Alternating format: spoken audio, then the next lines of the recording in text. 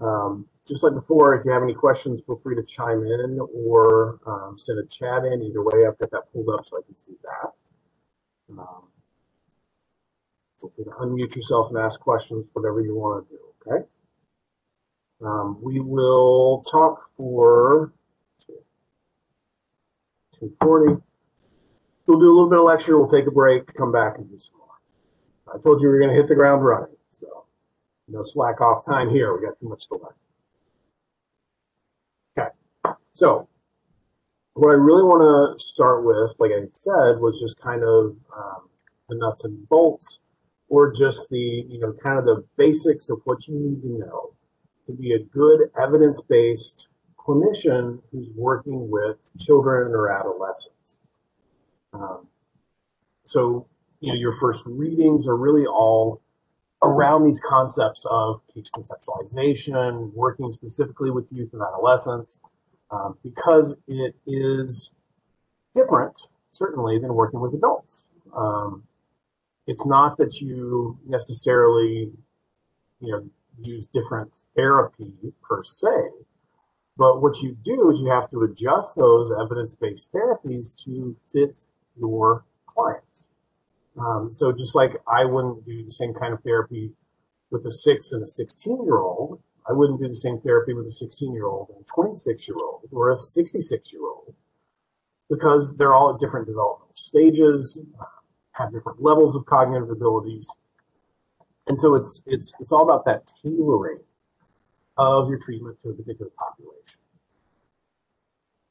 But all of that tailoring starts with a good case conceptualization. And you know, I know my counseling students have heard me say this before, but this is this is really your base. And if you don't do good case conceptualization, you don't do good therapy. Because you don't know why it is you're doing what it is you're doing.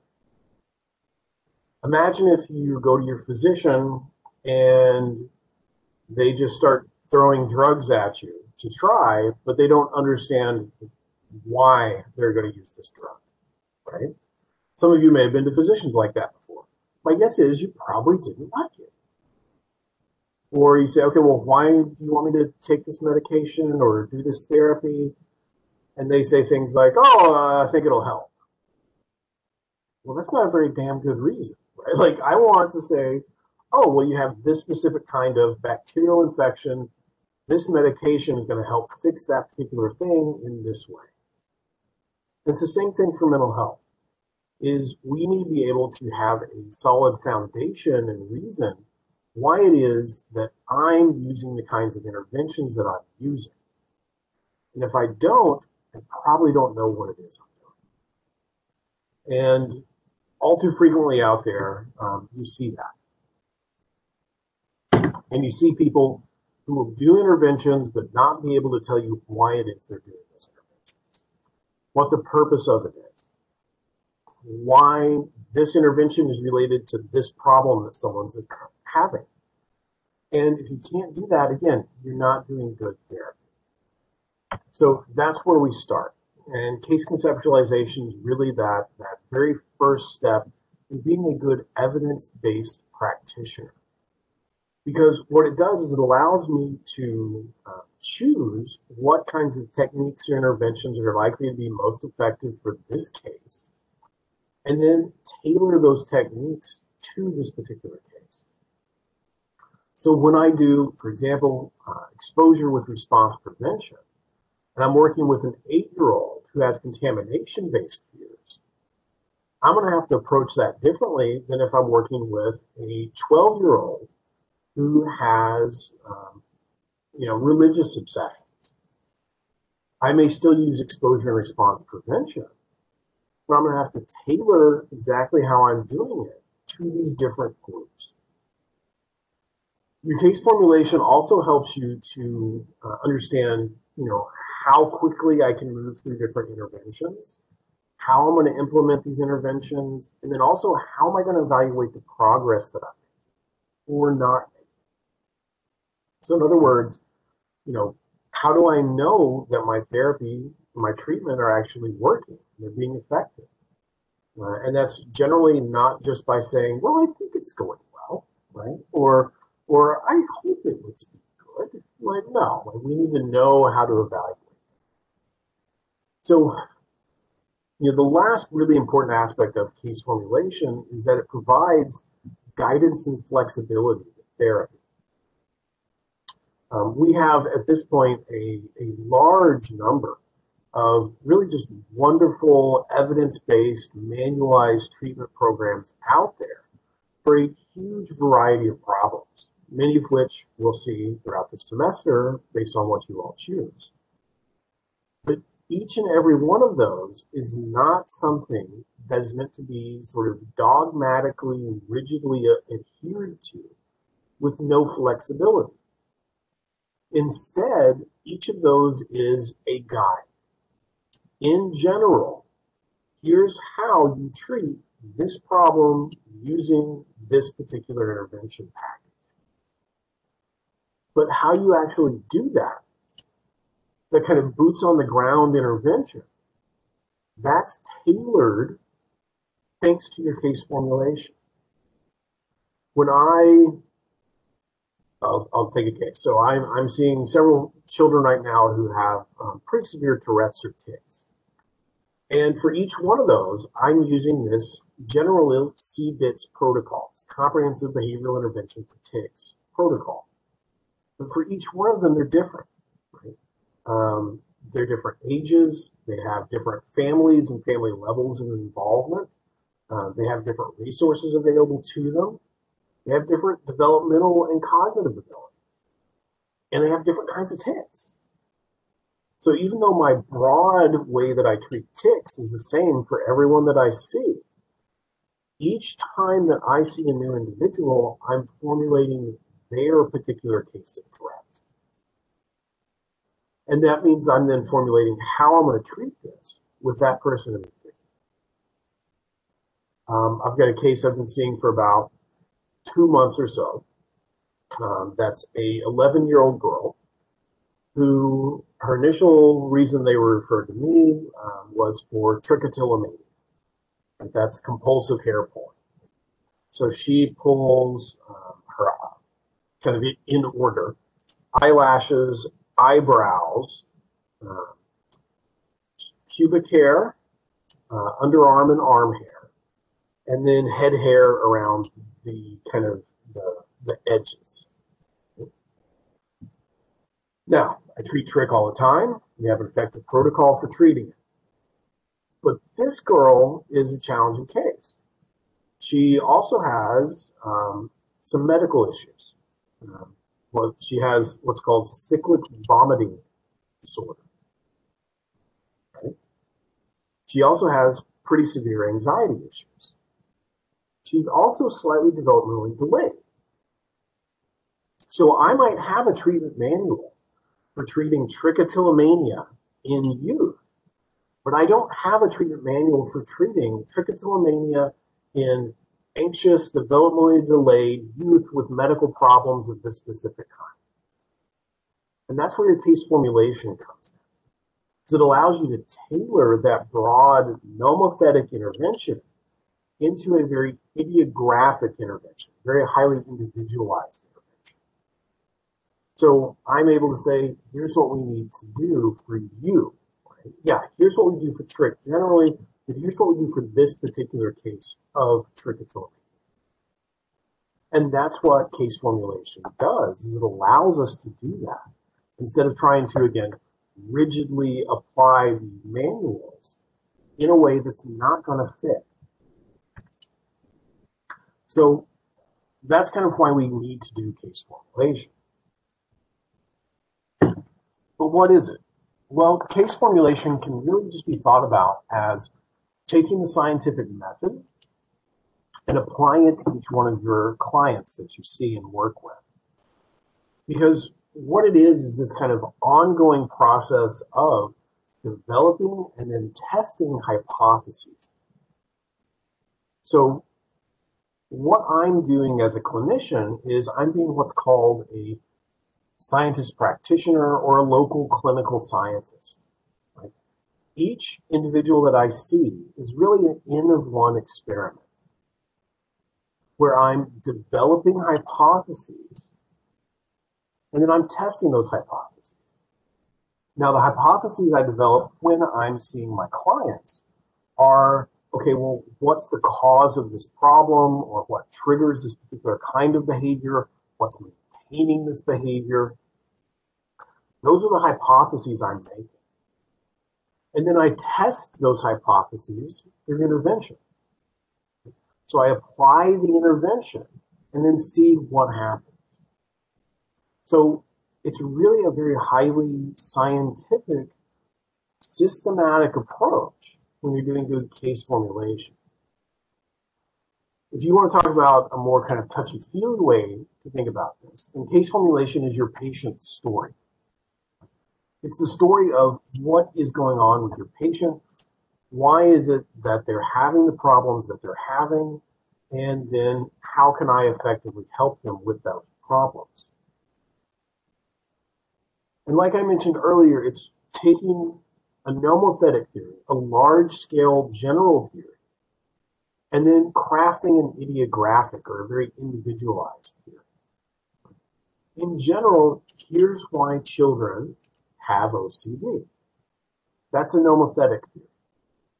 And I would say, but here's why specifically this child has OCD and what's going on around them to help maintain that.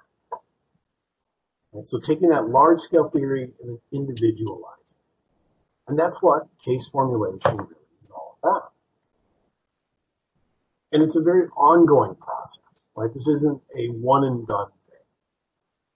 this is something that I'm continuously updating based on the data that I'm gathering in terms of is my intervention working, getting feedback about it, and testing it out more.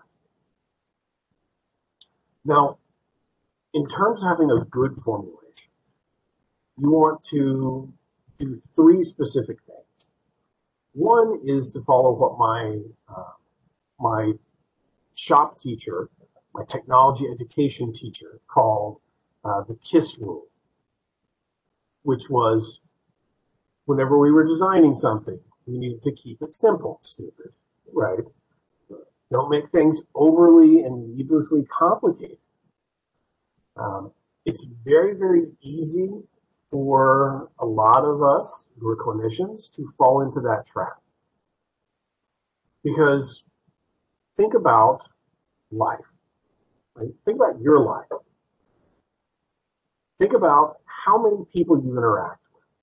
Think about all the potential influences on your behavior, your cognitions, and your emotional states. And think about all the time involved there. For the last several decades, all the different things that have influenced who you are and why you are the way you are right now. Now, that's a lot right? Like that's a lot. But do I need to think about all of that in order to have a good case formulation of why this person is experiencing depression, anxiety, uh, you know, aggressive behavior, whatever it happens to be? Probably not, right? Like I probably don't need a 17,000 word novel about their life because they're only three years old. Um, so we don't need to needlessly complicate things. And this is where having a really good, solid theoretical orientation helps you out. Because it helps you see what's useful and what's not useful about formulating your case. So in this class, we're going to be focused really on cognitive and behavioral therapies. We're going to be talking about a cognitive behavioral case formulation model. Um, I know our school psychs are doing their BCBA stuff. Um, you're very familiar with kind of the behaviorally oriented model, which this very much is. We're just adding the cognitive aspects onto it and calling them cognitions, not things like, you know, uh, non-verbal uh, hidden behaviors, things like that. Um, those of you coming from the, the MFT side, uh, you've had some courses about different kinds of systematic theories, right? Uh, so looking at, you know, various aspects of kind of the whole system that's encompassing someone. what you'll see is that that makes sense here too, um, because we very much, when we talk about a cognitive behavioral model, we think about not just what's going on inside someone, but the system that they're embedded in, the environment that they're embedded in, and how that impacts behavior as well. So we're going to be focused, you know, using the language of a cognitive behavioral or CBT theory. Uh, but I think all of you will be able to, to really understand, oh yeah, yeah, this makes sense. So, but we don't even need this to complicate. I don't need to know exactly what your fifth grade teacher said to you that one day that then made you feel a little upset, which led you to get bullied on the playground when you're 32, right? Like, I don't, I don't need that. Right? Um, and you'll see kind of what those important parts are as we go. You also need to make sure that you keep an open mind. Um, it is incredibly easy for all of us to quickly come to a decision or an idea about why I think a particular thing is the most important thing to focus on, and here's the right thing, and then ignore other information. But a good therapist keeps an open mind. They say, yeah, I think this is what's happening. I think this is what's going on. But they're ready and looking for alternative explanations. Are there other ways to think about? Is there a reason I could be wrong here? And that sort of thing is incredibly important because if you put those blinders on and you're not allowing yourself to see other options, then you're going to just keep doing the same thing over and over again and not respond to feedback.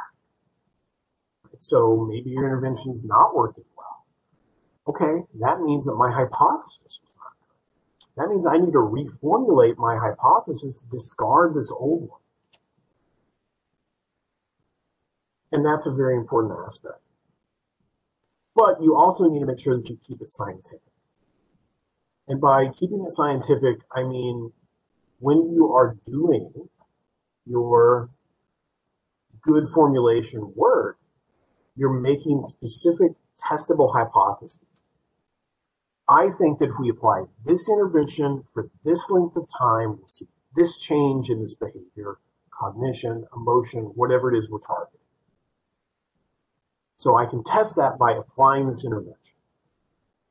I did that. Oof, it didn't work. We need to get rid of that. I need to rethink my hypothesis. So all of these fit together. Right? We're making testable hypotheses. We're keeping an open mind to I could be wrong, and we're keeping things kind of as simple as possible as we go.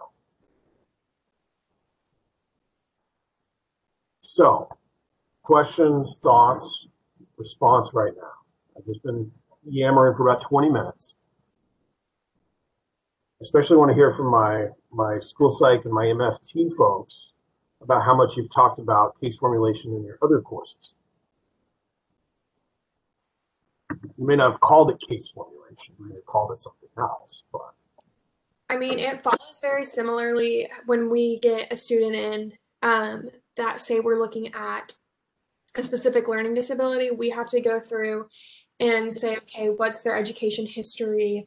Um, are there any other tests that have ever been done before? Because we have to we have to rule out lack of education. We have to rule out, you know, family things, other things that could possibly be causing it, and then we also need to look at um, patterns that we see because of race, race or ethnicity as well, um, and make sure that those are all rolled out, and then test as well. Either do cognitive tests or do an intervention and say, okay, if this intervention doesn't work, then we're probably looking at an SLD or we're probably looking at this.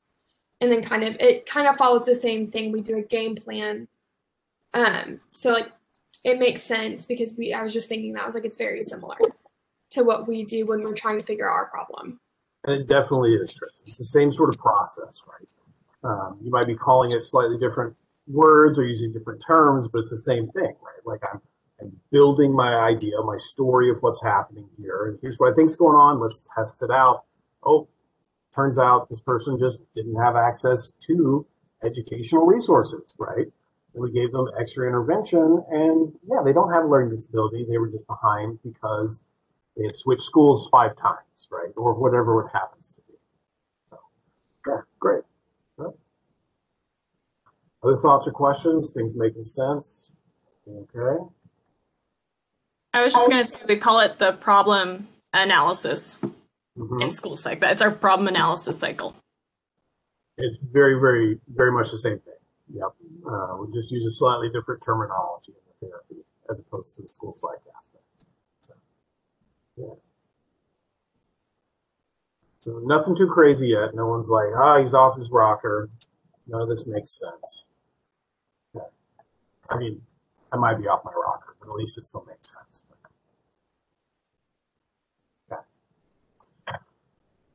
So, you know, if we would talk about um, kind of the visual process of developing the case formulation, it's really, really similar to when we are talking about doing science, right?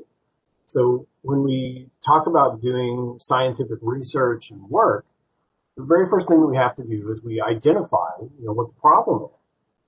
And that problem could be, why is this child not reading at grade level?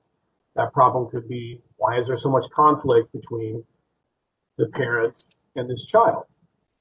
Or that problem could be, you know, this child's uh, weight is way below normal standards for their age and height. Um, and maybe we call that anorexia or something. So we have to identify first what the problem is. Then we have to gather information about that problem. And in scientific research, that's doing things like going to the research literature, and seeing who studied this kind of topic before. For us, that's the same thing. We go to the research literature. What is there out there about parental child conflict? What is there out there about ADHD? And I go and I learn more about that problem. In other words, I'm learning more about that nomothetic theory of what's going on. And then I start to make my hypotheses. Okay, well, in general, this is why children with ADHD struggle with X or Y.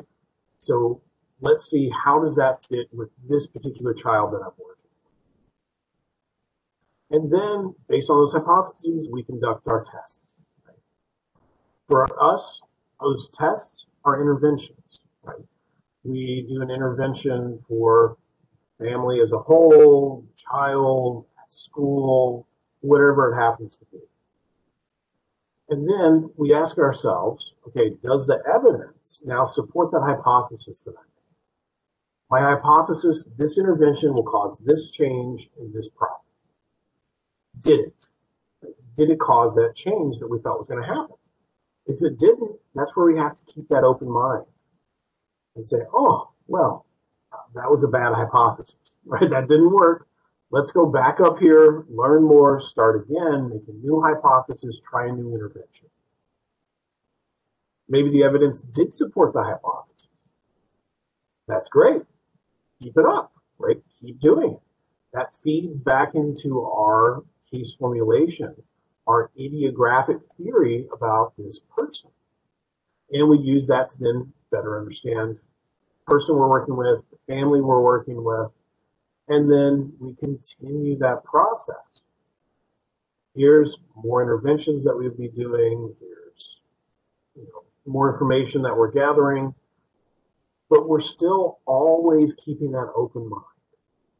And we're still always keeping that open mind because there could be new evidence that then shifts. Right? And it says, oh, this does not fit with what's going on here. And then we need to go back to the start. Or we say, okay, that did fit, that did work. Now, great, we're getting better and better and better at understanding this particular individual. Now, where a lot of people who are out there practicing go wrong is at this step, where they either don't actually gather evidence to see if their hypothesis is supported, or they see the evidence doesn't support their hypothesis but they still keep doing it. So this is what we see with people who do non-effective therapies or pseudoscientific therapies. Where we know, for example, this doesn't actually change this particular behavior. Or the reason the behavior changed is not because of your intervention. And yet someone would continue to engage in using those non-effective interventions. Now, you'll read a lot more across the semester, and we'll talk a lot more in a few weeks about kind of the reasons why people don't realize that what they're doing is ineffective. And it has a lot to do with placebo effects and what we call regression to the mean. But you'll we'll talk more about that. And this really, this is what you don't want. This is the flowchart of non-evidence-based practice.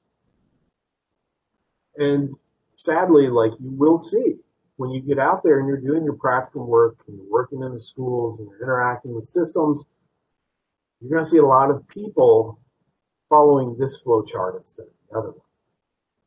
Where you start the same by gathering the information about the problem, by making hypotheses, but then you just ignore anything that doesn't support that.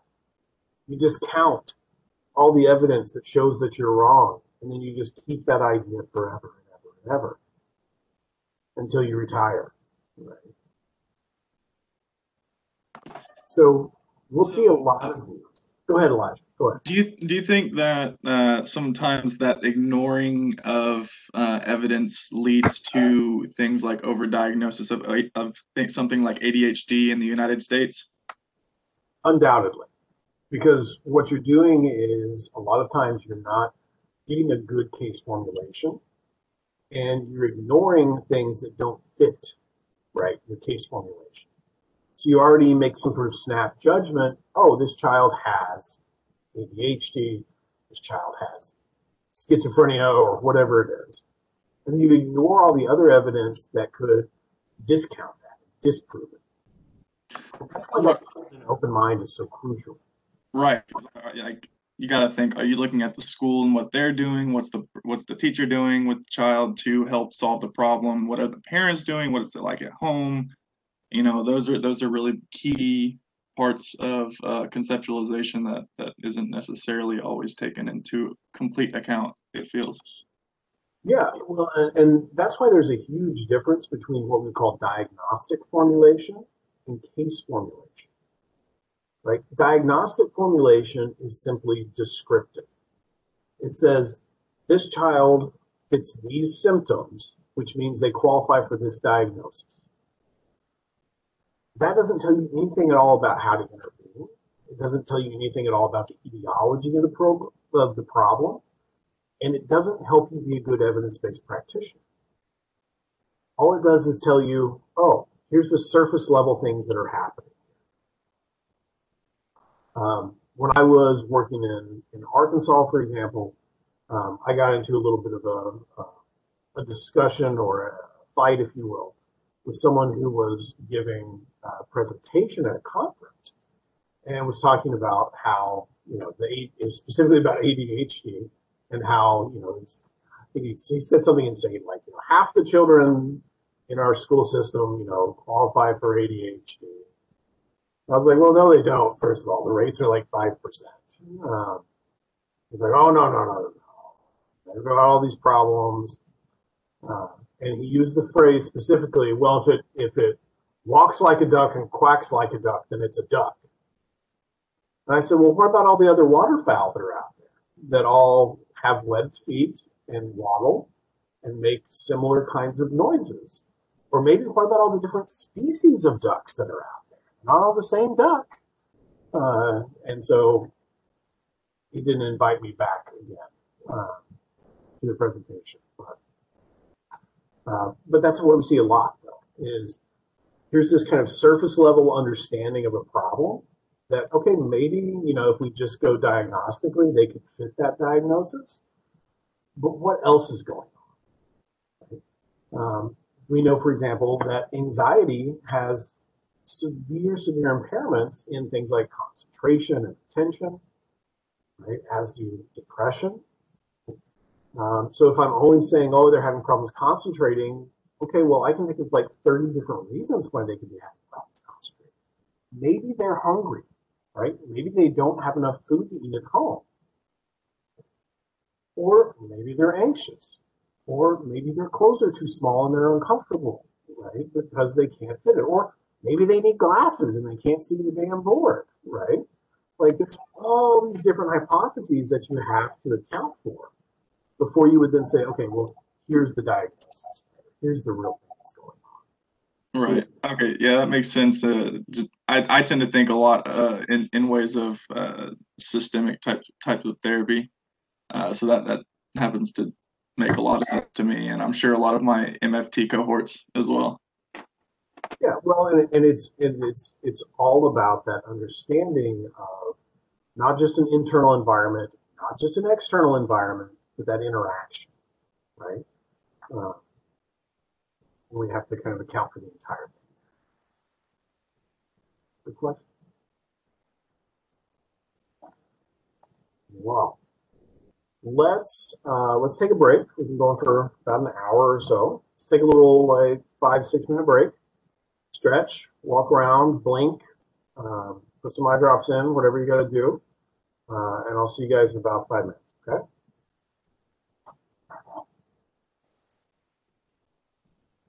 All right. Well, so getting back to where we left off, um, talking about case formulation. Right? So it's really the very first thing that you need to do in therapy. Um, you do that before you start really doing any kind of treatment planning. Because if you don't have a good case formulation, then how are you going to know what to do in your treatment? because your case formulation really provides um, the, the map, the guide to your treatment planning. They're a sequential process because knowing why someone is having the particular problems that they are helps tell you how to fix those problems. If you don't do that, if you just start doing treatment, then it's the equivalent of you taking your car to a mechanic and they don't ask you what's wrong with it. They don't start it up. They don't drive it around. They just start swapping parts out and seeing, does it work now? Which would probably be very profitable for the mechanic, right? But it wouldn't be very good for you as the consumer. And it's the same thing with your clients that you work with, where if we don't know why they're having the problem, then why would we know how to treat it? Or how would we know how to treat it? So that's really what we're talking about when we talk about this relationship between case formulation and treatment plan. Because it's your guide, right? It's your guide on how to do treatment. Um, it tells us, you know, what te- techniques we're going to use at what time and how we're going to do that. So me doing cognitive restructuring work with an eight-year-old is going to look very different than I'm I'm working with an 18-year-old. If I am doing parent management training for a child who has autism versus a child who has anxiety, those things are going to look different. And that's what your case formulation does is it helps to again tailor those interventions specifically to who you're working with.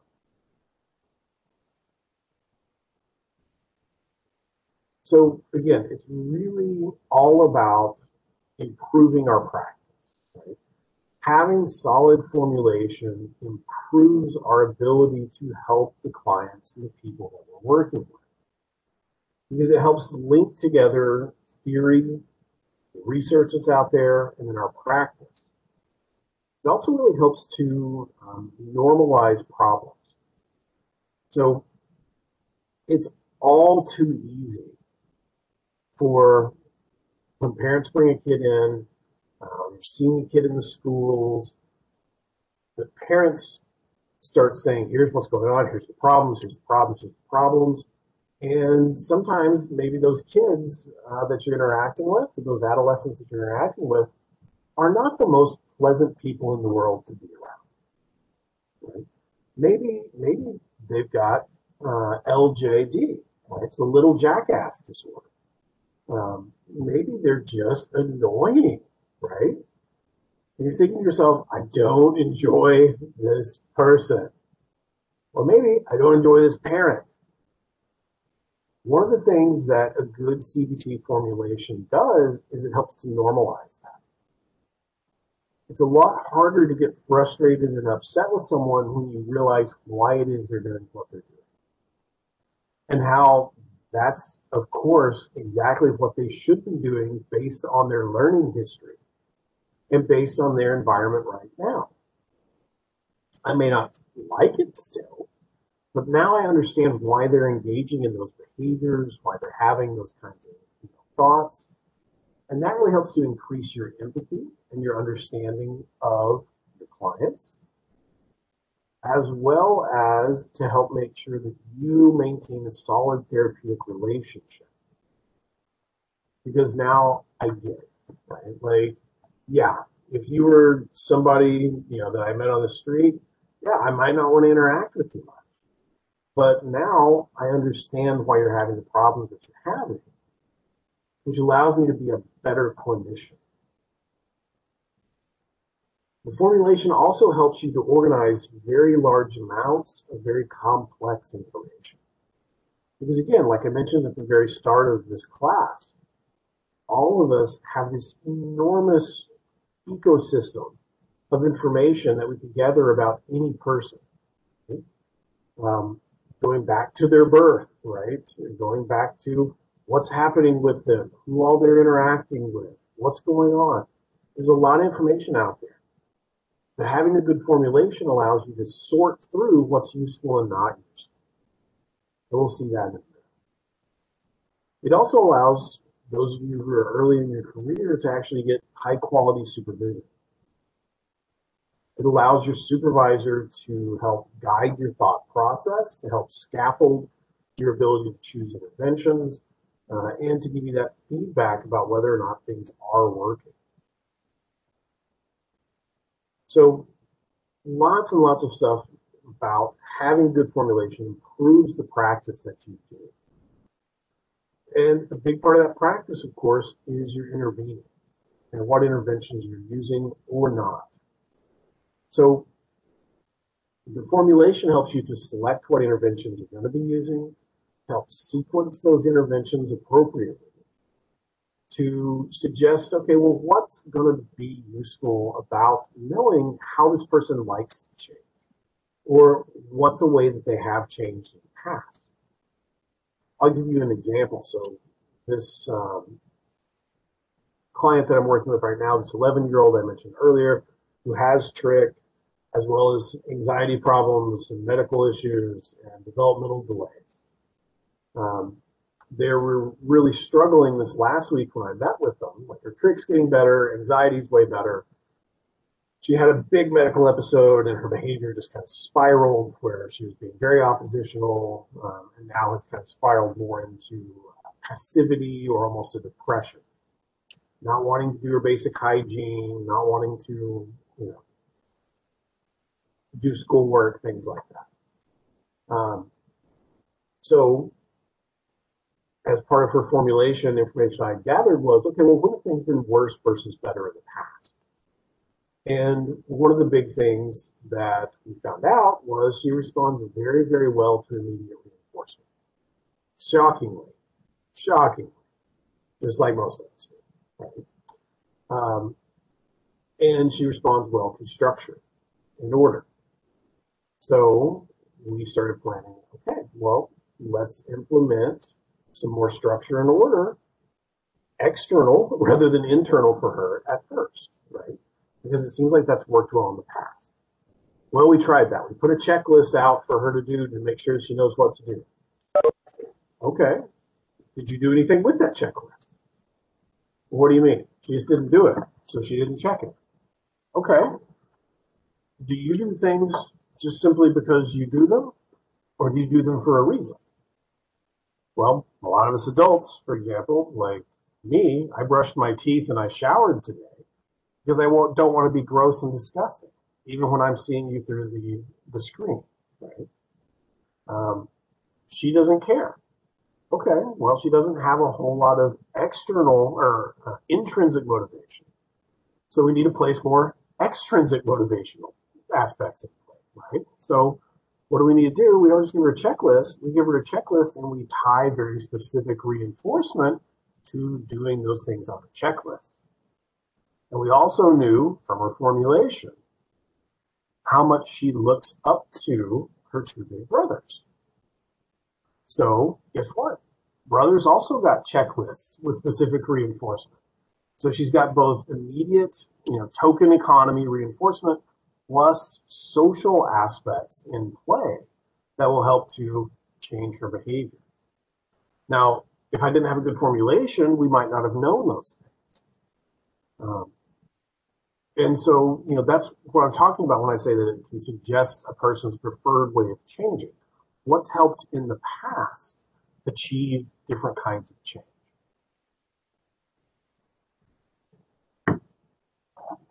So, another one of the big aspects about doing good formulation work is that it helps us to be on the lookout for roadblocks. Um, you know, blockages to therapy, what are called therapy interfering behaviors. What are things that are going to make therapy not work as well or maybe be trickier? And those could be things like uh, financial aspects or transportation. Those could be things like uh, lack of social support. Those could be cultural issues. Those could be educational issues. There could be medical problems. All sorts of things that could happen there. But your formulation is going to help you understand some of those. And then finally, your CBT formulation helps inform the intervention by saying what's going to be the most effective, most cost efficient things for us to do. I'll give you an example. So, um, we've got some really great therapies for PTSD uh, in children and adults. So I'll use an adult example now. So we've got uh, prolonged exposure therapy, we've got cognitive processing therapy, cognitive behavioral therapy, sort of generally speaking, um, works great. But we also have this behavioral protocol called written exposure therapy. Um, that's five sessions as opposed to 12 to 16 for these others.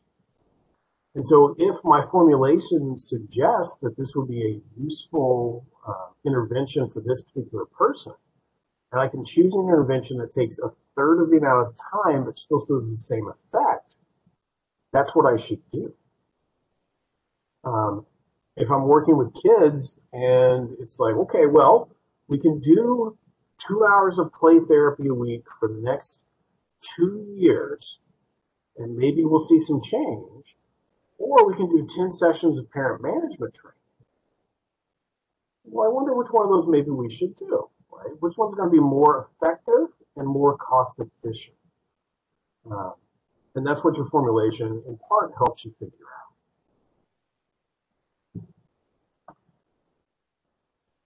Now, this goes back to what Elijah had asked about earlier in terms of, diagnostic versus case formulation. Um, case formulation often uh, subsumes or, or you know includes that diagnostic formulation, but it goes very very far beyond that. Right? Um, diagnostic formulations like the DSM or the ICD, uh, they're really just descriptive, right? They're just symptom based. They're atheoretical in that they're not saying here's why people have problems. They just exist, right? Um, case formulation, on the other hand, is very highly individualized. It's always derived from theory, right? So, for example, uh, we'll be talking in this class a lot about cognitive behavioral case formulation. That comes out of cognitive behavioral theory.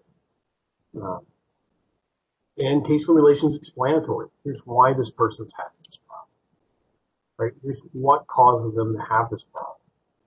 So I often get a diagnostic formulation on the way to my case formulation, but I don't just stop at the diagnostic formulation because that doesn't that doesn't tell me what I need to do. It might tell me what box to check on an insurance reimbursement, it doesn't tell me what I should do now after I check that box. So it's really it's a step on the way to formulation, but it's not the entire formulation. Just keep that in mind. So there's a number of different ways to think about case formulation. Um, one of my favorite child clinicians, uh, Robert Friedberg, refers to what he calls the case formulation wardrobe. And he calls it the wardrobe because there's a lot of different aspects to clothes. Right? So, um, all of you that I can see on the screen right now appear to be wearing clothes. First, thank you. Um, appreciate that. I think we all appreciate it. Um, and all of you, you don't seem to probably be just wearing one single item, right? Like no one's just wearing like a robe or something. Uh, you might be. I can't see below. It's it could happen, but I'm just going to pretend it's not. Um, so like me, so I'm wearing I'm wearing shirt, right? I've got jeans on, I've got socks, I've got underwear, I've got shoes, I've got a belt, uh, I've got glasses. I've got all these different pieces of my wardrobe. And case formulation is the same thing, right? Case formulation isn't just one component. It's not just one piece, right? It's not just a shirt. It's not just pants. It's not just socks. It's the entire wardrobe. And fitting these different pieces together in your case formulation wardrobe gives you a useful, what Friedberg refers to as a dressed up picture of your client. And looking at this um, picture here gives you an idea of kind of what is that wardrobe, right? What are the different parts to that wardrobe? Because again, it's not just one part. It's not just the cultural context. It's not just their history and development. It's not just their cognitions or behaviors or emotions. It's not just the diagnostic aspect. You have to put all of these pieces together to truly have a good, solid case formulation that accounts for, yes, the behavioral aspects in terms of antecedents, consequences, their history and development, the cultural context that they're existing within, uh, their cognitive predispositions or the cognitive structures they have. But we have to know all of these pieces to really get an understanding of why they're presenting with the problems that they're presenting. If I just focus on any one piece in this wardrobe, I'm not going to be very well dressed. Just like all of you, if you only went out wearing one piece of your wardrobe, right now you might get a little chilly, right? Or you might have the cops called on you for indecent exposure, um, or whatever it would happen to be. So we have to take all these different aspects into account to understand why is someone having the physiological symptoms, the mood or emotional symptoms, the behavioral problems, the cognitive problems, the personal problems that they're experiencing right now. And when we start putting that together, that allows us to understand both why the symptoms they're having are being had and how those symptoms interact with each other, as well as influencing these wardrobe pieces. So, for example, my physiological symptoms that I experience can have a huge, important impact on my cognition. The interpersonal consequences that I experience can have a huge impact on my familial system. My history and development has a big impact on my behavior and my cognitions and my mood. But at the same time, my behavior, my cognitions feed back into all of these aspects. So case formulation isn't just a one way arrow, right? These things all influence and are influencing each other. And so, in order to understand where do I need to intervene and how do I need to intervene, that's why I have to have this whole wardrobe, right? The entire dressed up picture. Because otherwise, I may not be doing the right thing. And even with a good case formulation, I may not intervene in the right aspect. And that's where you have to be so open to being wrong. Where you have to be okay with your hypothesis not being supported. And then say, all right, let's try again. I tried to intervene here at the physiological level and it didn't work. Okay, great. Now, well, now I need to intervene at the behavioral level. Or I tried to intervene by, you know, addressing cultural aspects, but they didn't help. So now I need to address these behavioral aspects as well. Or for a lot of us, we'll address multiple pieces of this at the same time in order to try and be as effective as we can. So this little girl that I mentioned earlier, this 11 year old, right? If, we, if I think about her case formulation, I have a lot of history and development to think about. Um, she was an international adoption. Um, she, you know, we knew information about her birth mother, but nothing about her birth father. Birth mother had a lot of cognitive deficits and problems. It was a state run institution. Um, so we know kind of history and development. We know she struggled a lot very early with a lot of developmental aspects. Um, so I can gather all that information, but that alone doesn't tell me why she's experiencing the bullying behavior she is or the anxiety that she is. And I can talk about the cultural context that she exists in right now as a uh, you know, person of color who's been adopted by a Caucasian family living in a primarily Caucasian area, you know, going to a mostly Caucasian school. And I can talk about the cultural aspects of her particular family, right? So not large scale, but like miniature scale cultural aspects. Um, you know, where mom and dad both very highly educated, very highly motivated. Other two siblings in the home are both uh, gifted uh, in terms of academic abilities. She is not.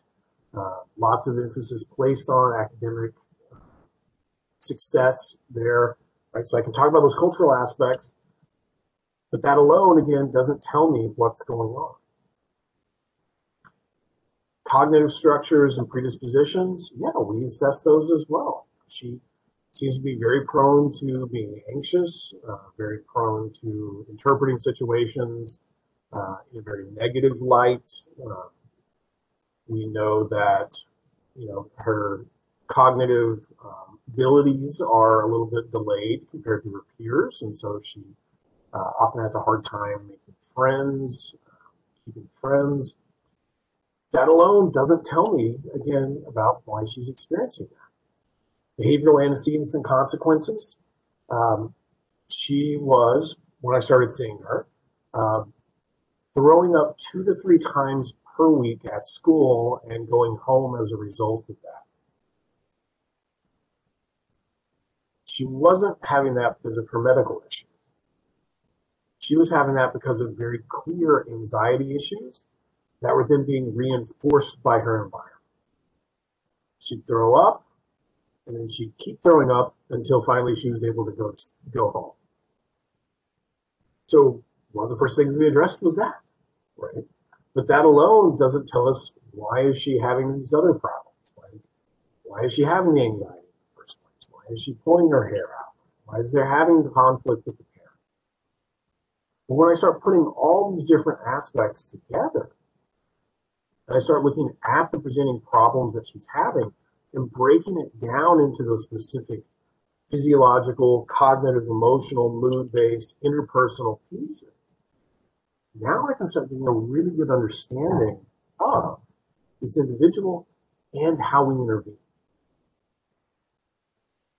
So within two weeks of our first meeting, for example, she had stopped throwing up at school and has not thrown up since for the last two months at school, which means she's going to school now all the time, which shockingly has improved her home life because the parents are not having to, in their words, nag and harass her about doing her schoolwork all the time because she's at school doing her schoolwork, which has led to a change in the cultural context, right? and it's starting to see some big changes in her cognitive structures and predispositions because she's not as worried about school when she's home.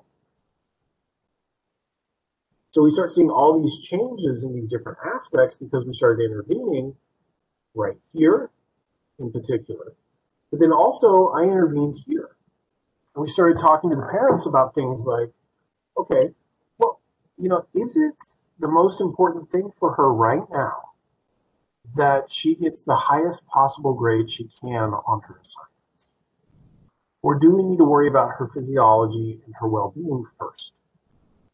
And then see what happens with the school. Oh, I guess so. I guess maybe we don't have to worry about that as much as I thought. Well, we're in the middle of a pandemic and she wasn't getting the you know, resources and support that she needed academically. So maybe let's focus on health and well-being first, then we'll see what happens with this other part. Um, and it turns out we saw some very nice changes. Right? So you can intervene at these different aspects and then see changes across the system because these are all working together. Now I've got some other nice pictures about that too. Uh, but let me pause, talk, feedback, questions, thoughts, responses for you.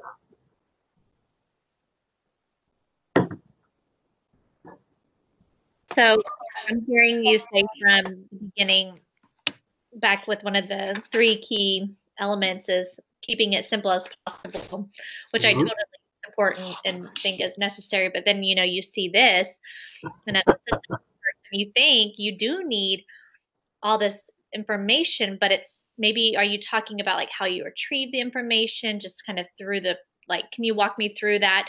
Um, how to keep this simple?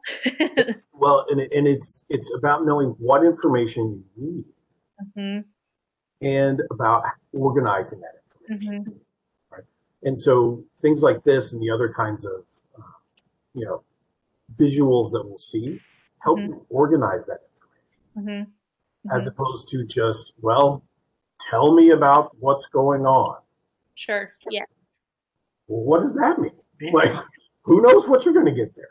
Right. Okay, let's do a little bit of first of let's talk about her history. Let's talk about developmental aspects. Okay, let's talk about your specific familial culture. Right. Okay, now we're going to assess cognitive aspects. Now we're going to assess behavioral aspects. And so instead of just this wide open, like, uh, give me, give me what's the problem? It's like, no, let me break that problem down. Right? Let me ask about these specific pieces that I know I'm going to need to fit together. But that also means that I know what stuff I, you know, don't need, right? That I that I can ignore. hmm Like, for example, uh, dad's occupation doesn't really have an impact at all on what's going on. Mom's does because she's a teacher. And she was trying to be more of a teacher rather than a mom to this particular kid. So, that aspect of the culture context, yeah, let's think about that. Dad's job doesn't really have an impact, right? Like, it's, it's pretty much like non impacting on this. Um, history and development, like, did I need to know specifically when she had achieved various kinds of developmental milestones? Nope. You know why? I can't go back and change those, right? Like, that's a decade in the past. Mm-hmm. Do I need to know that she's generally cognitively delayed and that, you know, she had at least one parent who was the same way? Yes, that becomes important. So, you know, out of all that history and information, there's just certain parts of it that are going to be very important. And that's why I'm talking about keeping it simple as opposed to, you know, here's her life story, you know, volume one, uh, ages zero to two, right? volume two. No, we don't need all that. We just need the important parts. And that's where things like this, the wardrobe, you start taking the important parts out. That, that answer, Emily? Yeah. No, that was great, and I was assuming kind of to that degree, um, and having a structure is is helpful so that you can process and you create your assessment and your yeah, it makes sense. Yeah, because otherwise, if you don't have something like this, then what are you doing? Right? You're just asking questions based on whatever you happen to pop through your mind right right now, um, as opposed to here's my you know comprehensive assessment and information. So with this model uh, and this wardrobe, um, obviously it, it, it is cognitive behavioral. Um, but is do you think it allows for enough flexibility in terms of like the emotion behind each person and them facing the problem Sure. and, and allowing allowing that to uh, also take some part in the decision making on um, interventions? Yeah, because um, I, and I'll give you an example with this case I've been talking about. Right? So, um, the mother is um, relatively high strung, right? Um, and she's pretty prone to anxiety herself. Um, and she has a history of, um, you know, kind of being pushed and pushing other people to, you know, be the top, the best, the best, the best, the best. Um, and so, knowing that information about her, I can, and other information I gathered, I can do sort of a case formulation for her as well, right? That then gets moved into this cultural context right? for my identified patient, the little girl.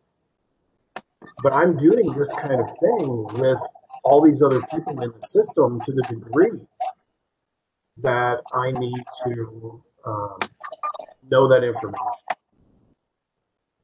Does that make sense? Okay, yeah, that does make sense. Did you end up doing a uh, a genogram with this family at all? No, I honestly never done a genogram in my life. Okay, I was curious. Uh, I, I, I didn't need to. Uh, but that would fall kind of under this cultural context aspect, right? Where um, I'm understanding the family structure and what's going on. So uh, I talked about siblings, right, with them, um, mom and dad, relationships between them, other important parental or grandparental or caregivers that are in there. You know, so you're thinking about that system right? And I'm thinking about how is this change going to impact the different aspects of the system. But I'm thinking about it still from a, you know, how do I intervene? Well, I intervene at a primarily a behavioral level. Um, Right. Okay. and that's what we're doing and seeing how that intervening behaviorally shifts the other people. So, for example, I behaviorally intervened with the parents, changing theirs specifically. So, how did that then um, change the behavior of my identified patient? Um, so, I'm not, you know, changing her behavior directly. I'm having the parents change theirs, right? Which is a systematic level intervention and then you're seeing what the impacts or the results are on the rest of the system. So it's the same sort of intervening, right, um, that you would do if I was taking a, a Bowenian or something like that, you know, structural family approach or something, you know, to that nature. Um, but you're not focusing on, okay, let's just somehow change the system. You're saying, okay, well, how am I going to change the system? And it's this particular piece will change right here that then changes everything else. Does that make sense? Yeah, that makes a lot more sense. Okay. Certainly. Thank you. Yeah. Other thoughts, questions, concerns?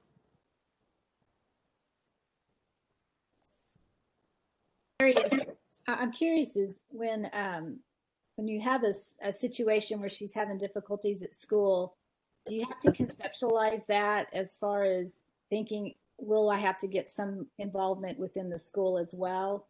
Is that something you conceptualize in the beginning? Oh yeah, of course. Um, and I do I do a large amount of uh, communication with the school systems, whether that's individual teachers or school psychs or aides or uh, counselors or whoever it happens to be that they're interacting with for those specific aspects. Um, Okay. so you know, for this girl, for example, um, she is a very, very strong advocate in the mom. And so um, the mom's a teacher. She knows that system. So I can give that information to the mom and then she can effectively interface with that system. In others, I have to interface with that myself uh, and say, hey, I need to have a call or a conference or I'm sending a letter. Um, and I have to do that pretty frequently. And that's part of your formulation. Right? So um, I'll give you I'll give you guys a good example. Um, couple of years ago, I had a, a, girl who's referred to me. She was 12, 13, um, and she was referred to me because she was having seizures. Um, but she was having what are called PNES, psychogenic non-epileptic seizures. Uh, so in other words, she was showing seizure behavior, but she was not having seizure activity in her brain. Um, and this is a form of um, a large scale form of what we call conversion disorder. So where I'm having uh, physical manifestations of uh, psychological and emotional distress. So this girl, when she saw me, hadn't been in school for about six months. Um, over the last three months before she saw me, she had had 74 seizures, seizure episodes, uh, so almost daily. Um, she was pretty much housebound, uh, hadn't left the house in about a month and a half to do anything or go anywhere. Um, and she was, she was having a rough time, right? Really, really, really distressed. Uh, the school did not want her to come back to school because it was too much of a liability. Right? They were too worried about her safety. They weren't worried about her safety. They were worried about their own safety. Um, and that they, you know, couldn't accommodate uh, someone with that level of problems. Now, three weeks after we started seeing each other, I had her back in school. Um, and that took me interfacing with the school, right? Talking with her teachers, the principals, the nurse there. This is a smaller rural school um, to help them understand why her staying home and her being sent home anytime she had a seizure was the exact opposite of what we needed to do. Because for her, what happened was she was having panic symptoms, right? panic attack symptoms, that were then building and building and building until she eventually had this seizure like behavior as a result of having a panic attack. So what did we do? We treated the panic attacks. Now she also had pretty severe trauma, which is why she had this in the first place. So we treated that first. Um, and then when that was going down, we started working on panic attacks. Um, and then we started working on getting her back in school. And so, yes, Marcy. So, yeah, uh, lots of interaction there, lots of letters to uh, the principal explaining why, uh, if they weren't allowing her to be in school, that would be a violation of various uh, federal aspects of educational law um, and getting the parents educated and able to tell them those same things. So being able to be their own advocates for uh, for their daughter. So yes, lots of inter- interacting with the school systems for sure.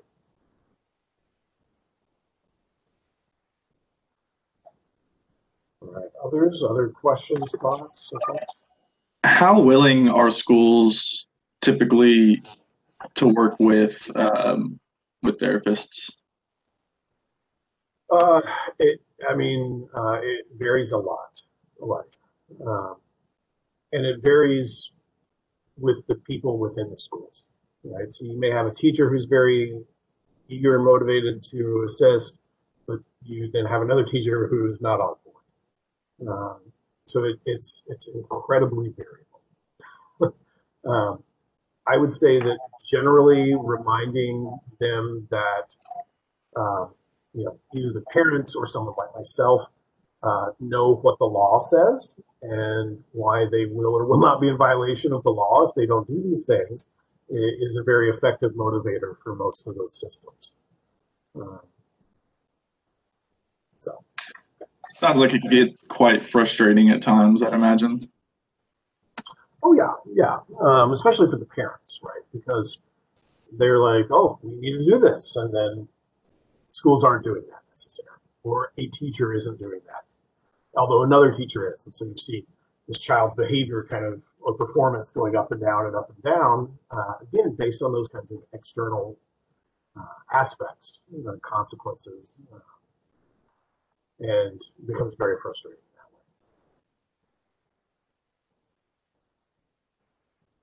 that way. Good, good questions. Good questions. So when we, um, you know, are thinking about problems, we need to think beyond just a diagnostic level or a referral question level to move to this again specific or a case problem level. So if someone says, "Oh, uh, hey, Dr. Lack, we're referring you um, a patient. Oh, okay, what for? Oh, they have Tourette's. Okay. Does that tell me much?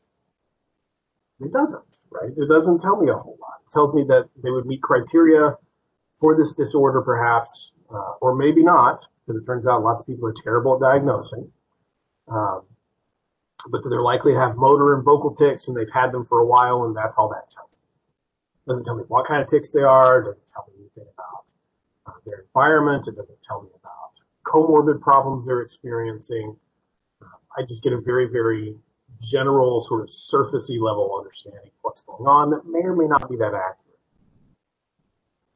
So when we, we take those problems and we break them down, we can actually become much more effective at understanding what's happening with someone and then how do we intervene. So most of our mental health issues that we deal with can actually be divided into these five specific parts depression, anxiety, OCD, anorexia, autism, um, oppositional behavior, ADHD, they can all be broken down into these five aspects that allow us to then get a better understanding of this person and what they're experiencing. So those aspects are cognitive, physiological, behavioral, emotional, and interpersonal. And just like we saw in this picture, these all interact with each other, right? So there, there's interactions between all these aspects. But if I have someone who says, what's the presenting problem? ADHD. Well, that doesn't tell me a whole lot. Let's break it down into what you know, specific behavioral problems they're experiencing, what cognitive impacts there are, how they're having personal difficulties, uh, emotional or mood problems, and then any physiological aspects and when I start doing that, and I start breaking these problems down, all of a sudden now I can get a better understanding of what's going on with this person. So we oftentimes in therapy will get referrals uh, that say things like, "Oh, this person has uh, low self-esteem."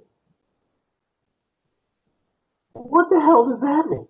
Right? I don't. I don't know what that means like maybe I have an idea of what it means to me, but what does that look like, right?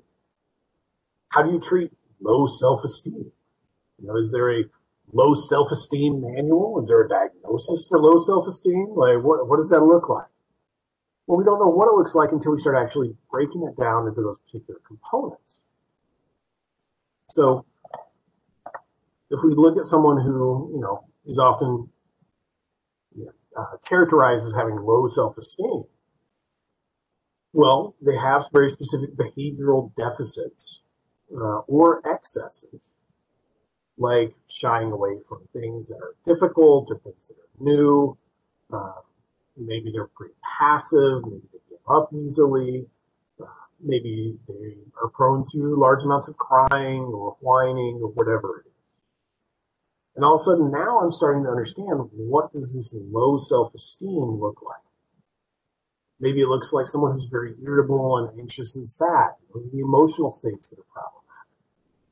Maybe it looks like someone who doesn't have a lot of friends or a lot of positive social interactions with parents. Maybe they have a lot of physiological complaints, primarily as a result of their anxiety. And maybe they're having specific kinds of repeated thoughts that are contributing to those behaviors or those emotional states. I'm not good, people don't like me, uh, I can never do right. And when I break that low self esteem down to these different aspects, what that does is that starts allowing me to say, okay, now I understand the problem, which means now I can start intervening. So, for example, we have uh, interventions for cognitive distortions and cognitive misinterpretations. We have interventions for reducing your physiological arousal. We have interventions for people with poor interpersonal skills. We have interventions that actually target emotional distress specifically. And we have interventions, obviously, that target behavioral aspects. So when I start breaking this down, instead of saying, well, I'm going to fix your low self esteem, we're saying now we know what the problems are. And now we can start planning on how to intervene with those specific problems. And then that formulation becomes useful because now I know what to do. Make sense? Thoughts?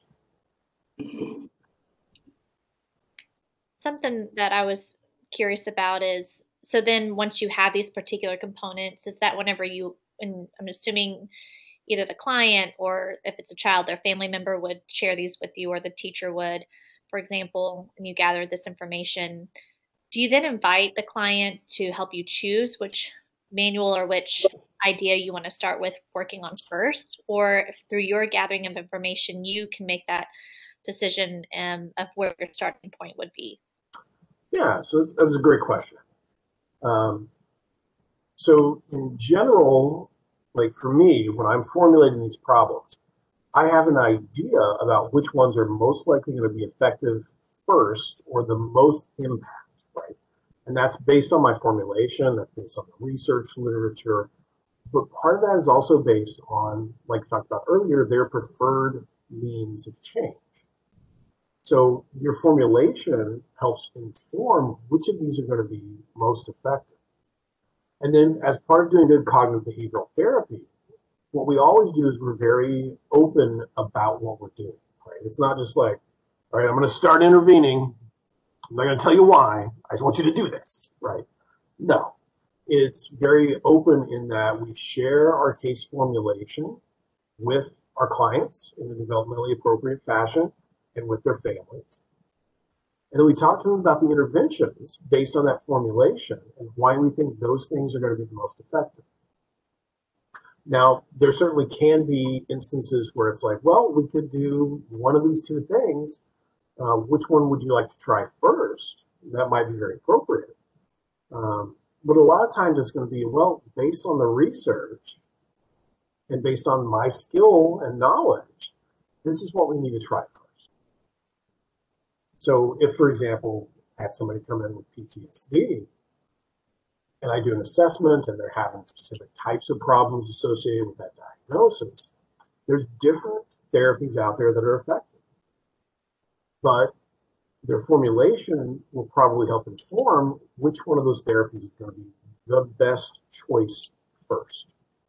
And then you share that with them, get their feedback on your formulation, get their feedback on what the interventions that you know, the formulation indicates are and they're comfortable level with them. And then you start moving forward from there. So lots of openness, lots of sharing. Is there a certain amount of um, humility you would say in making these decisions with the client?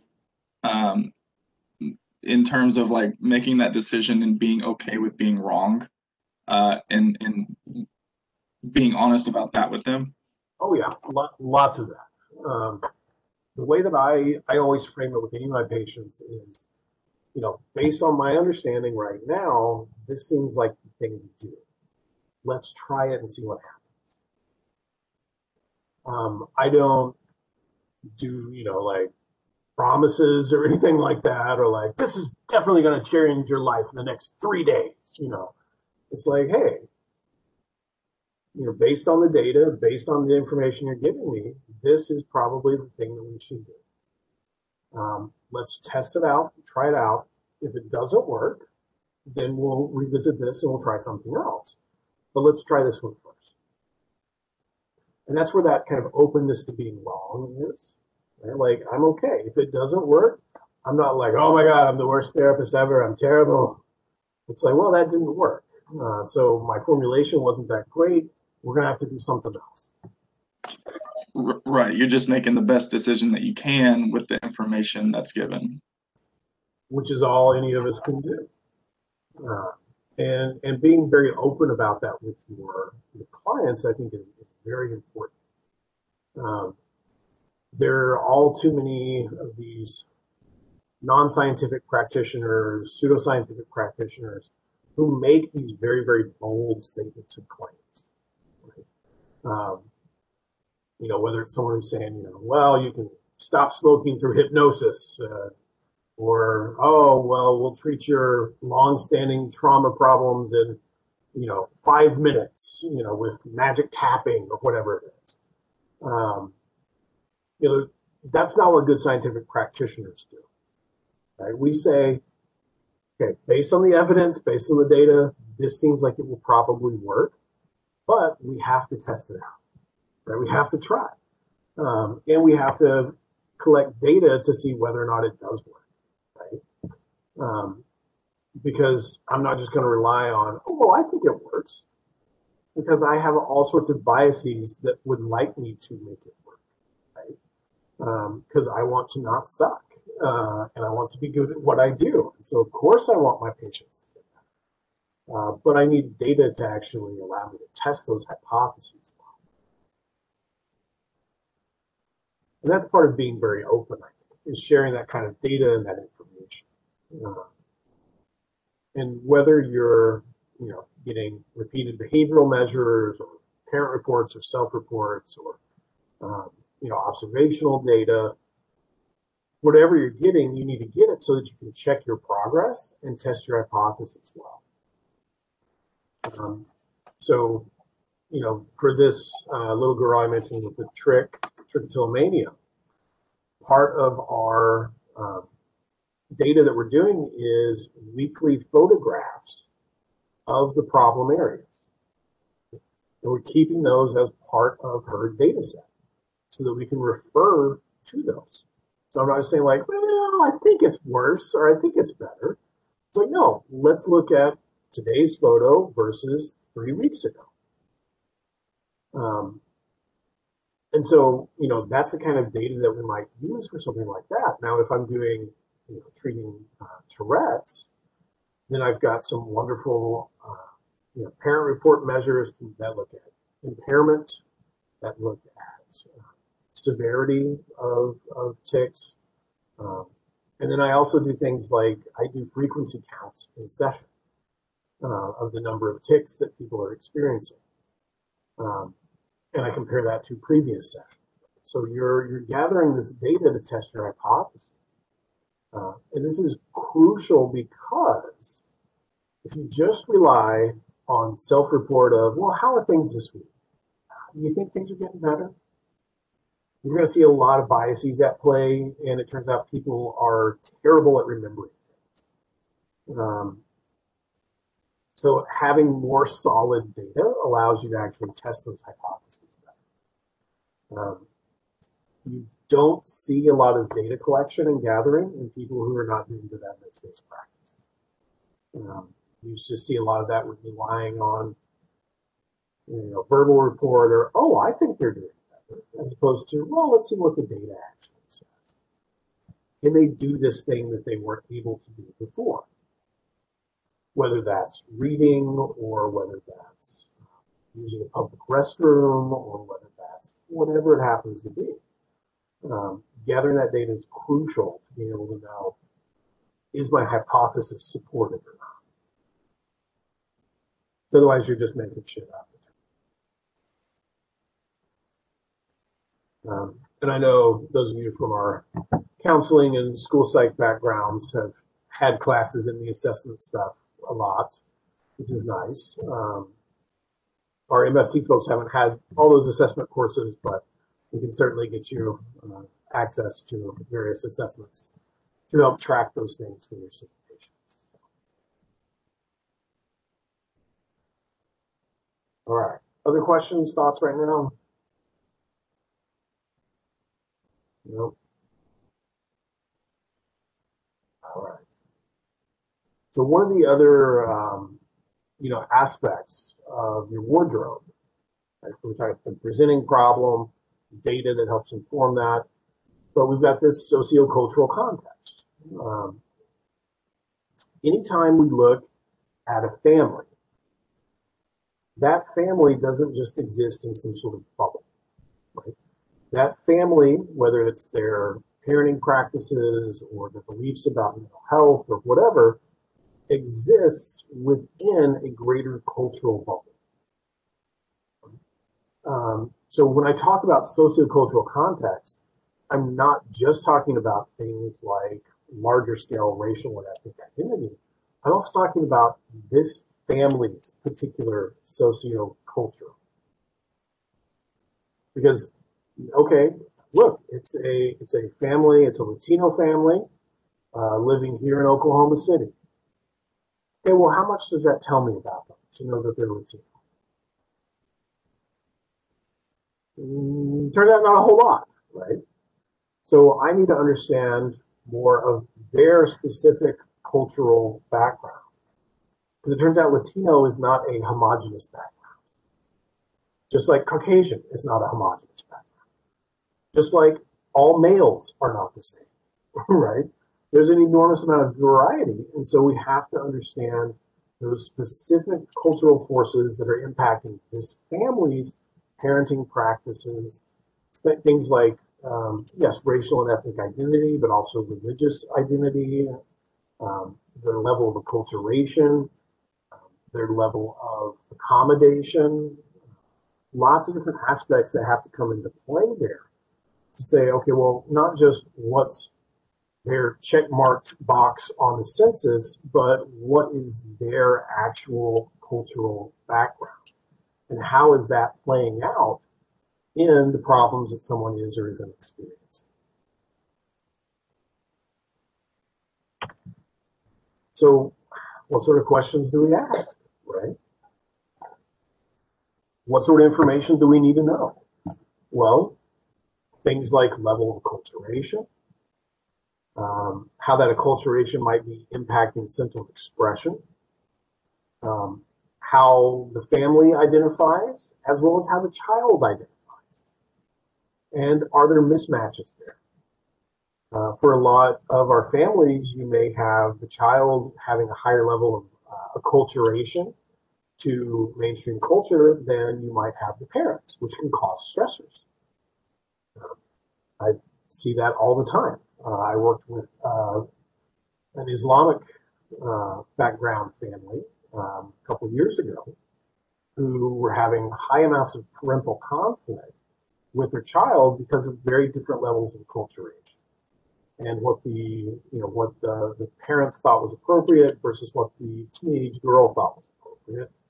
And lots of conflict there. Um, and if i ignored sociocultural issues then that would probably not have gone very well right? Because uh, knowing why the parents are having you know, what they think is reasonable for this child versus uh, her thoughts on the matter uh, helps to inform intervention and understanding, um, just like knowing kind of um, whether or not certain kinds of feelings or thoughts are um, not talked about or seems taboo or something we just don't mention, um, whether or not those cultural forces may have uh, emphasized a particular symptom to be expressed and repressed others. Um, whether or not they you know have particular aspects of their cultural identity that influences how they view the world as a whole, um, which we all do, it turns out. Um, understanding those kinds of aspects allows you again to get a richer, deeper formulation compared to just saying, "Oh, they're Latino, they're black, they're white." because it turns out there's an enormous amount of variability within every ethnic and racial identity. Uh, so, avoiding things like stereotyping, in other words, uh, which is is often very easy to do, especially if you're not a member of that particular racial or cultural identity. Then we talk about history and development, um, which really is very useful about knowing how a problem developed, um, as well as potentially knowing how are we going to tailor our treatment to this particular person based on their developmental level, based on their cognitive level, uh, based on you know, the family as a whole. And this gives information too on the caregivers. Um, so if you know that you know the caregivers have been very involved in different kinds of intervention in the past for a child, as opposed to yeah, we just you know we were court ordered to be here, um, even though we had all these problems. That's going to give me a different understanding of you know how maybe willing they are to engage in the intervention process, to be active participants in treatment. Um, so and development, very very important. But again, you don't get super bogged down in those unnecessary details. Like, well, how many baby teeth do they still have?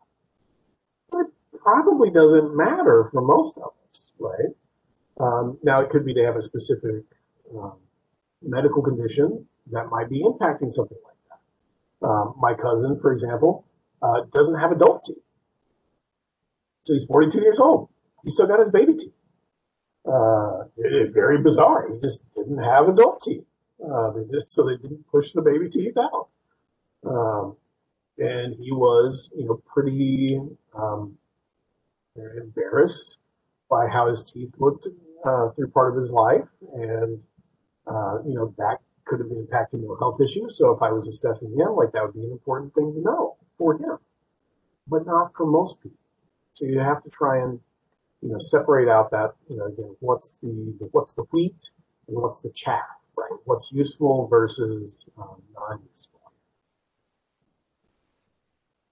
So some common areas that we talk about with history and development are health history, prior treatment that you've engaged in, um, you know, whether or not you met developmental milestones in a reasonable fashion, what's school like, what are peer relationships like, what sort of relationships do you have within the family? Uh, what sort of disciplinary practices are used within the family? Um, are there you know, problems with substance use or legal issues? Because all that could shift your formulation and shift your intervention. Cognitive variables, which we'll talk quite a bit about throughout the semester, um, include products, structures, and processes.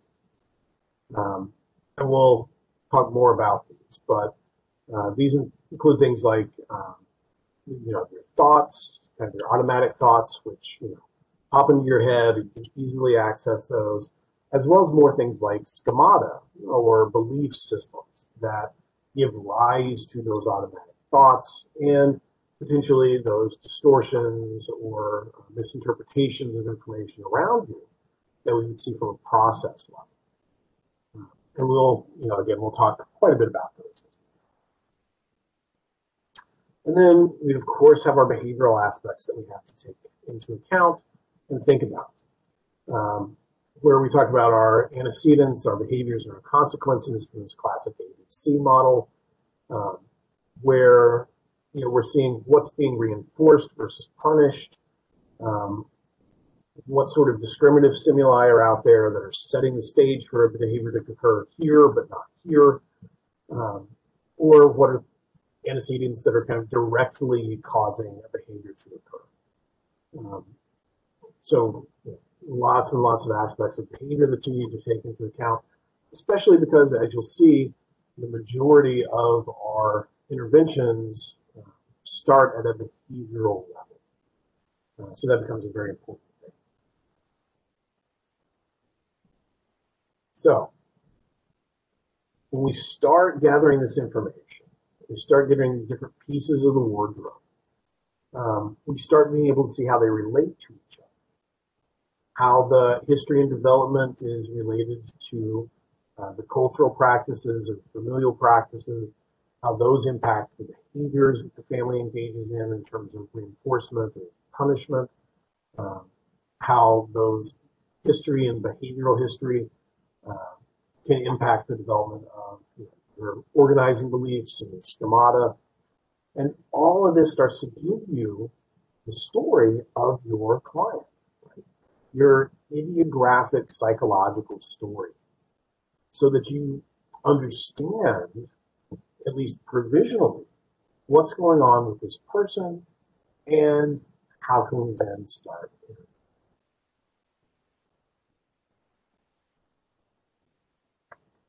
So, I think that is probably where we will actually stop for today. Stop a little bit early. Um, so, thrown a lot at you on this very first day. What we'll pick up with next week is we'll actually we'll spend more time talking about formulation. And we'll start talking about how you put these things together. So, how do you really start telling that story from a evidence-based cognitive behavioral model with all these different pieces that are in play. And that'll really give you guys some time to do some more reading uh, and then be ready to kind of dive a bit deeper into right. Questions? Questions for now?